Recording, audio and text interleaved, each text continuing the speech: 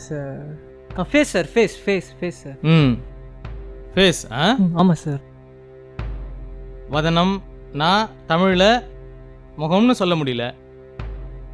நீ வந்து தமிழ் பாடலாசிரியர் ஆக போகிற தமிழில் சொல்லணும் கூட தெரியல உனக்கு? சார் நான் அதான் சார் சொன்னேன். ஆ அதுதான் சொன்னீங்க. ஆனால் இங்கிலீஷில் சொன்னீங்க. நீங்கள் இங்கிலீஷ் பாடலாசிரியர் ஆக போகிறீங்களா இல்லை சார் தமிழ் பாடலாசிரியர் ஆகணும்னா இலக்கணம் தெரிஞ்சிருக்கணும்ப்பா இலக்கியம் தெரிஞ்சிருக்கணும் இலக்கணம் தெரியுமா உனக்கு தெரியும் சார் இலக்கணம் தெரியுமான்னு கேட்குறேன் சார் சார் யார் சார் சொன்னா எனக்கு இலக்கணம் தெரியும் சார் எழுத்து பேசுறியா என்ன நீ சார் சார் இல்லை சார் என்ன எழுத்து சார் பேசுறியா sir sorry sir Raja sir sir வா. சார் சார் ப்ளீஸ் சார் தம்பி வெளியே அனுப்பு sir sir sir sir sir please sir sir sir sir sir இல்லை sir please sir sir sir sir அம்மா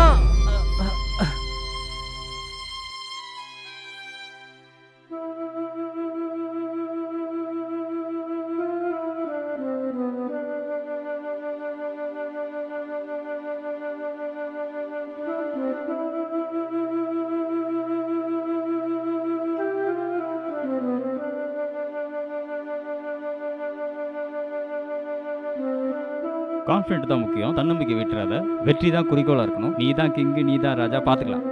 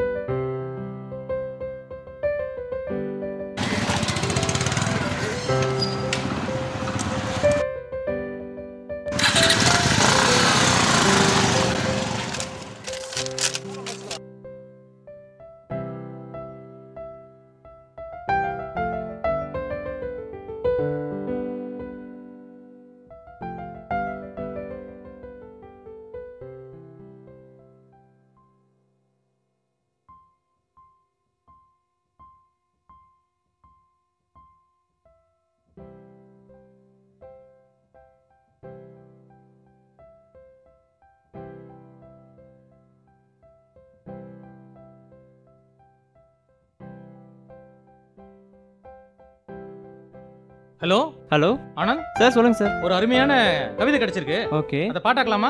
ஓகே சார் கண்டிப்பா. Okay Anand. Okay thank you sir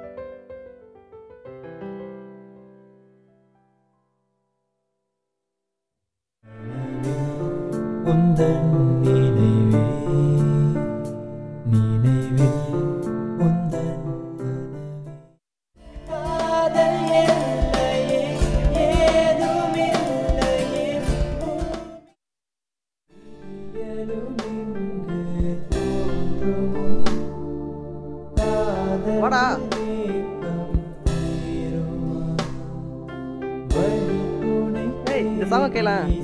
சூப்பரா இருக்குல்ல? ம். லிரிக்ஸ்லாம் கூட ரொம்ப பயங்கரமா இருக்கு. இதை எழுதினவன் கண்டிப்பா ஒரு நல்ல கவிஞனா தான்டா இருக்கும்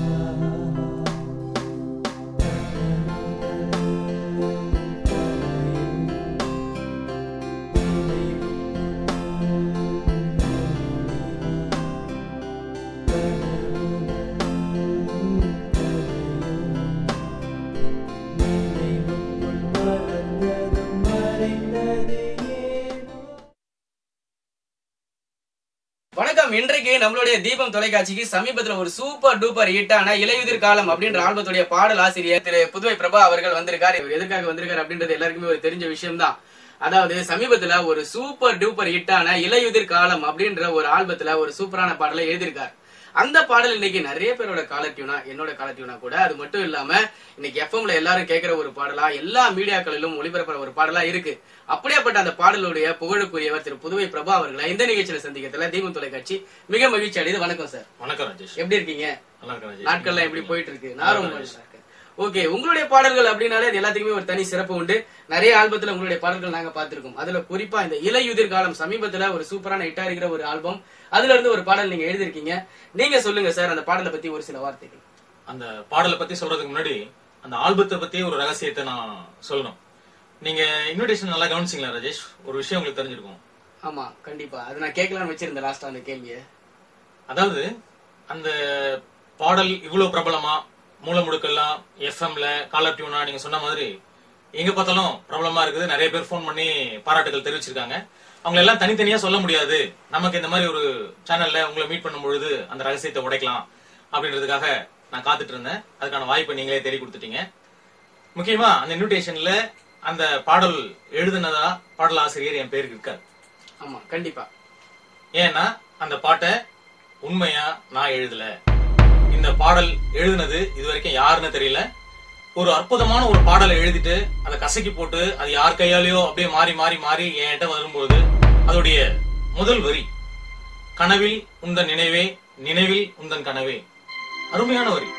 இத வந்து ஒரு சாதாரண முதல் முதல் பாடல் எழுத வேண்டிய ஒரு ஆள் எழுதுனது இல்லை யாரோ இதுல வந்து ரொம்ப ஹார்ட் ஒர்க் பண்ணி பாடலாசிரியரா இன்னும் பிரபல பாடலாசிரியர் இருக்கணும். இல்ல அதுக்கான முயற்சிகளை மேற்கொண்டிருக்கிறவரா இருக்கணும்னு நினைக்கிறேன்.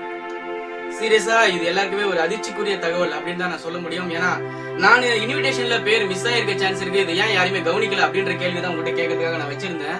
ஒரு பெரிய விஷயத்த ஆனா இதுக்கும் ஒரு மிகப்பெரிய தைரியம் வேணும். இன்னொருத்தவங்க எழுதின ஒரு வரிய தன்னோட லைன் அப்படின்னு சொல்லிக்காம உண்மையான அந்த கலைஞனுக்கு பாராட்டு கிடைக்கணும் அப்படின்றத ஒரு பெரிய மீடியாவில் உட்காந்து பேசிட்டு இருக்கும்போது இவ்வளவு பிரபலமா சொல்றீங்க அப்படின்னா இது உங்களுடைய பெருந்தன்மையை காட்டுது. ரெண்டாவது அந்த திறமைக்குரிய ஒரு மனிதன் யாரோ ஒருத்தவர் எழுதி கசக்கி போட்ட ஒரு விஷயத்த இவ்வளவு பெரிய பரவலா நம்ம எல்லாருமே பேசிட்டு இருக்கோம். ஆனா இந்த இடத்துல உட்கார்ந்து நம்மளாம் பேசிட்டாலும் கூட அந்த புகழுக்கு சொந்தமானவர் இப்போ எந்த இடத்துல என்ன பண்ணிட்டு இருக்கார் அப்படின்றது நம்ம யாருக்குமே தெரியாது. இந்த மாதிரியான கலைஞர்கள் நிறைய இடத்துல வளரணும். அவங்கள வளர அவங்கள ஊக்குவிக்க நிறைய புது புது டெக்னீஷியன்ஸ் இல்லாம அவங்களுக்கு ஒத்துழைப்பு கொடுக்குற எல்லாரும் வளரணும் அப்படின்றத விட இந்த நிகழ்ச்சியை நம்ம முடிச்சுக்கலாம். மிகப்பெரிய நன்றி. நீங்க ஒரு சூப்பர் டூப்பர் ஹிட்டான ஒரு இதை அது மட்டும் இல்லாம ஒரு கலைஞரோட ஒரு உண்மையான வரிகளுக்கு அங்கீகாரம் கொடுத்து அதை வெளியிட்டிருக்கீங்க. இன்னைக்கு நம்மளோட நிலையத்துல நம்ம வந்து நிகழ்ச்சி முடிக்கிறதுக்கு முன்னாடி அந்த பாடலை பாடி காட்டினா நல்லா இருக்கும்னு நினைக்கிறேன். அப்படியா? அது நான் பாடுறதுக்கு இல்லாம நான் பாடினா ரொம்ப கஷ்டப்படுவாங்க எல்லாம். அதனால நம்ம மியூசிக் டைரக்டரே பாடிடுவார்னு நினைக்கிறேன். ஆனந்த் சமிதி அவர் ரொம்ப பிரபலமா வளர்ந்துட்டு இருக்கிற ஒரு டைரக்டர் இளைஞர். அவர்கிட்ட இந்த பாட்டை நான் கொடுத்த உடனே அற்புதமா இருக்கு சார். நம்ம கண்டிப்பா இது ஒரு டியூன்ல ஃபிட் ஆகிற மாதிரி இருக்குது அப்படின்னு சொல்லிட்டு தான் அவர் டியூன் பண்ணாரு. இன்னைக்கு வந்து அது ரொம்ப பிரபலமா பேசப்பட்டது. நம்ம சாருக்கு ஃபோன் போட்டு கொடுத்துறேன். அவர் பாட்டுலாம் ஹலோ சொல்லுங்க சார். ஹலோ ஆனந்த் சொல்லுங்க சார். ஆனந்த் சமிதி வணக்கம் வணக்கம் சார். ஆ வணக்கம் வணக்கம். ஒண்ணும் இல்ல நீ நம்ம இப்ப ஹிட்டான அந்த பாடல்ல வந்து ஒரு பேட்டியில சொல்லிட்டு இருக்கிறேன். ஓகே சார் நீங்களே உங்க குரல்ல பாடிட்டீங்கன்னா நல்லா இருக்கும்னு நினைக்கிறேன். கண்டிப்பாக சார் கண்டிப்பாக ஆ ஓகே கனவில் உந்தன் நினைவே நினைவில் உந்தன் கனவே கனவில் உந்தன் நினைவே நினைவில் உந்தன் கனவே கண்கள் ரெண்டும் உன்னை காணும் காலம் வந்தால் நோகுதடி கா ஏதுமில்லையே பூமி எல்லை எது அதுவே. ஓஹோ உன்னை காணவே கண்கள் விழிக்கின்றேன். விழித்த தருணமும்